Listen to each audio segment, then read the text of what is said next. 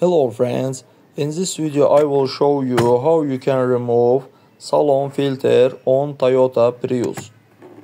Friends, but before starting the video, subscribe to our channel, put like and don't forget to put a bell so as not miss new video on the channel.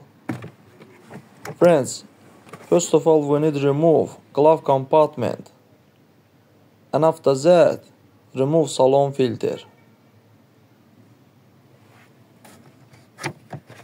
Like that and shake off the dust.